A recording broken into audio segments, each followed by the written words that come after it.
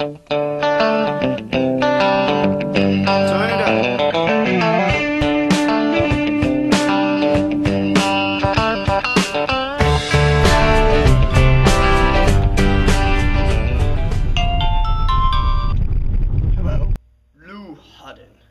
have your brother here with me. Who is this? I don't think you understand. I have your brother here.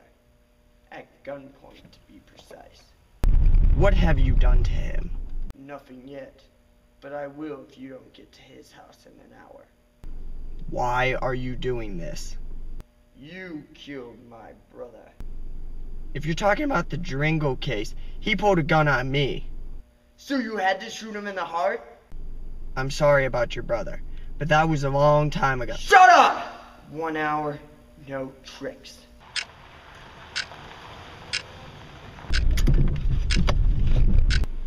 No! Drop the gun! 911? What is the state of your Yes, emergency? we have a man now. 345 Westbury Drive. Send an ambulance, quickly. Finish it. I'm not going to finish this. If you won't, I will. Don't do it! Ah! Hello. Cancel that ambulance.